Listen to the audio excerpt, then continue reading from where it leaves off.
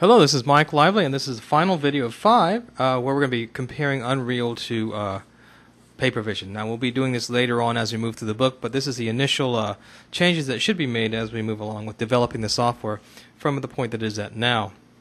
And so, what we'll be talking about today, uh, you bet, something really cool. If you love Second Life, you're going to love this video, and it's teleporters. And you're probably familiar with, if you're familiar with Second Life, you're familiar with how great teleporters are being used in there, and I have built a lot of them in Second Life, let me tell you and we can build them in Papervision as well. It's pretty easy.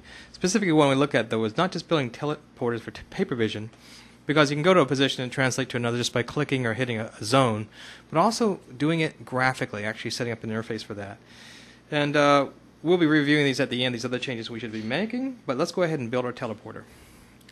So what I'm going to do, I'm going to come along here and go to Unreal, and I'm actually going to um, build double platforms, set a teleporter on one, and transport between the different uh, platforms. Let's go ahead and go up to full screen mode. So I'm going to come along here and hit the little full screen button, and I'm in full screen mode. That's pretty cool. And the first thing I want to do is start working with this brush. So I'm bringing this down so you can see the screen. I've got my brush right here, and I'm going to click that and activate it. And I'm just going to go ahead and right click the box here and set its dimensions. And we'll make it uh, 2000 48. We'll make the other 2048. And then we'll make this uh, 16. That'll be fine. And hit OK, build. And uh, we've got that done. And let's go and add CSG. There we go. Now we want to build like a platform or a cube above this. And so I'm actually going to translate this brush up. There we go. I don't want to go too high, but high enough so you can tell the difference. And I'm going to change its dimensions. So let's go ahead and right click on the box. And let's do a 256 by 256 by 256. That should be a pretty good size. By 256 by 256. Great. And I want to go ahead and add CSG. There we go.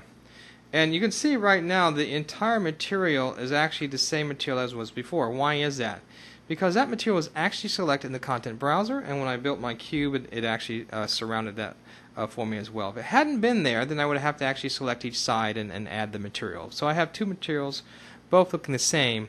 But let me actually make this a little different by actually selecting this or dragging another material on the top of this uh, cube right here. So I've selected it. Let's go to the content browser, make it a little bit more fancy, put something up there that looks a little different. So here's my content browser. And let's add something a little green. That'd be nice.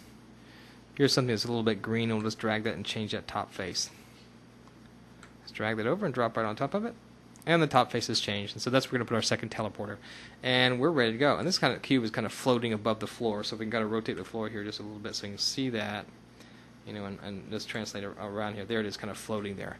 Okay, and then not much more you can do with that. I mean, there's tons and tons of stuff that you can go from beyond this point, and we'll just leave it at this. So what we're going to do now is we're going to come along here and we're going to uh, add a teleporter. And the way you do that is you go back to your content browser. That's your best friend. And we'll bring that content browser over here.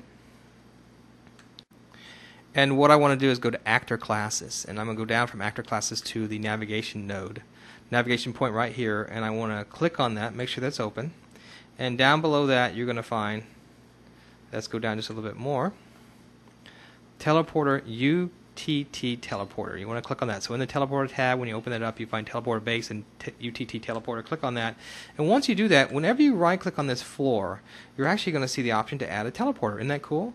So click on that. Now, if I want to add something else, all I have to do is select it in this assets right here. So for example, maybe I want to add, uh, we'll just choose anything, a camera actor.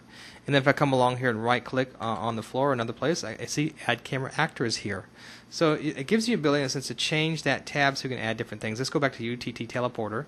We're going to add a second teleporter. We're going to add it this time is on the top of this cube right here. So we're going to right click on that. And we're going to add another teleporter. Pretty cool. Now I want you to be very careful about this G key right here. See that G key? If you click that, your teleporters will disappear. Everything will kind of disappear. So you want to keep that in a sense that activated. So beware of hitting that G key. If you go there and everything's invisible, make sure you hit that G key to get everything back. So I need to add a light right now. So let's right click on here and add that light so we can actually see this thing. So we're going to go add actor, add point light. Let me bring that down so you can see it. Add actor, add point light. Got that right there. And we're going to actually tab through and basically using the space bar so you can tab through the different translation, rotation, resizing. Let's translate that up. Great. I get that higher. Okay, I actually might put two lights in here. We'll put one right here. Okay. And uh, let's see, is that good? Let's move around here. Let's make it bigger and see if that helps us a little bit. So I'm actually going to, once again, click on that, like, select that light and tab through the resizing. Let's make it larger. There we go. Now we're starting to make some uh, progress here. I'm going to tab through once again using the space bar and move that over just a little bit so I can get some light right on that cube. Bring that up a little, bring it back a little bit. There we go. Now I'm starting to see the base of that cube. Just bring it up a little bit higher. Okay, I'm a little happy with that so I can actually see that second teleporter. And I'm actually going to activate those teleporters, tell them where to go. So all I need to do is just uh, make sure my pointer is selected, and I'll double click on one of the teleporters. And I got this nice little control box, exactly what I want in Papervision, for example. Here's the tag. That's the name of the teleporter. That's like the ID in the Flash Builder. So we'll call this Tele1. And then we want to go somewhere to a URL. So we'll just call that Tele2. Isn't that nice? Wouldn't it be nice to have a, a nice little graphical interface like this in Papervision? And it's not hard to do. In Papervision, you can build these boxes very rapidly, set them up using XML. Okay, that teleporter is done with. Let's go to the next teleporter. Click on that. We'll call this Tele2. Once again, that's like my ID in Flash Builder. And the bottom one we'll call Tele1. And that's where I'm going to go to when I walk through that teleporter. I just it's so easy to do this. And remember, once again, typically when you want properties of anything, you just kind of double click on it. We're ready to go right now, except I'm not pointing in the right direction. I actually want these arrows, in a sense, to point in a direction. I'll hit the selection key, point in the direction that I want to go. So once it's selected, let's tab, and let's hit rotate. And I want that arrow to rotate around, so I'm actually looking at the direction of my other teleporter. Let's click this teleport, teleporter. And I want to tab through that and move that over a little bit over to the side so you won't fall right off it when you teleport over. Tab again, get the rotate. You see how important it is to hit that space bar and tab around. And now I'm looking in that direction. Let's add a start position. We're going to right click.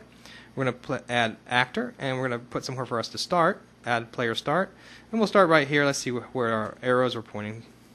That's our X arrow right there. So we actually want to point the other direction. So we're tab and we'll turn it around. So we're actually pointing when we start to where we need to go. So we're all ready to go. Good. Here I've got my start. Here I've got my teleporter 1, and here I got my teleporter 2. And we're going to teleport between the two. So let's let's do one more thing. We've got to build the lighting and the paths. So come up here and go to build. And we'll just choose lighting without Lightmass just to basically speed up the uh, processing. Let's close that. And we're also going to build the AI paths. You don't do that, you won't be able to see your teleporters. You want to see this beautiful teleporter. You're going to love what you see here in a moment. And we're all ready to go. Let's close that and let's bring this up, right click, and play the game. So here I am in my system. So let's go to that teleporter over there and walk through that. And I'm going to teleport through that, and I'm going to go up to that, that top uh, path, path there. And up I go. I'm actually on top. Now I can see the teleporter down below. You see that? I'm on the edge there, so if you can't see it, you can just look right down here. The teleporter's down. The second teleporter's down there. So if I just go straight, for example, and I see if let's see what happens here. Let's see if I fall off. Ah, I fell off. Okay, there you go. And you can see once again I'm transporting between these two paths. Pretty, pretty cool. Pretty cool. And let's see if we can see that. There's that second teleporter up there. You see that up there? That's what I'm actually transporting up to. This is just super fun. I just could do this all day long. And I just loved Second Life. I loved building uh, teleporters in Second Life. It's just so super fun. So let's go back up to that top.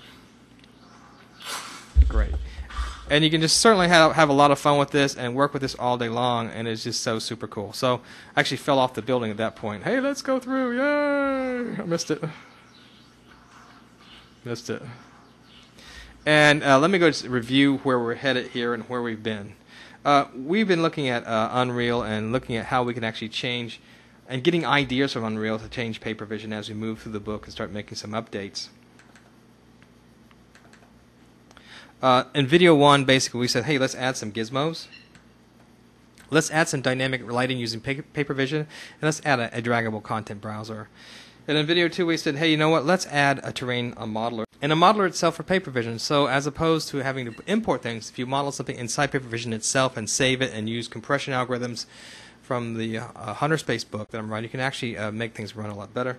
Once again, terrain gizmos and mode uh, painting, uh, that would be very cool to have as well. In, in, video 4, we saw the ability to have sky domes, efficient sky domes. The one in Papervision, that when you put them in there, they really hit your processor hard.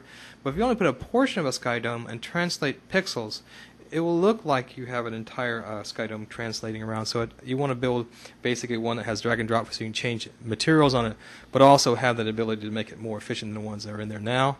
And finally, uh, for the last part, hey, let's build a transporter. That's pretty cool. But let's build a transporter with a graphical interface so you can basically program it the way you saw us do in Unreal. Hey, Unreal's a great engine. A lot of material out there on the web to learn about it. This concludes this assignment for Chapter 2. But as we move through the book and begin making these changes to Papervision, we'll come back to Unreal and we'll do some more videos. So thanks for listening. This was Mike Lively. Hey, let's go have some fun. Ah!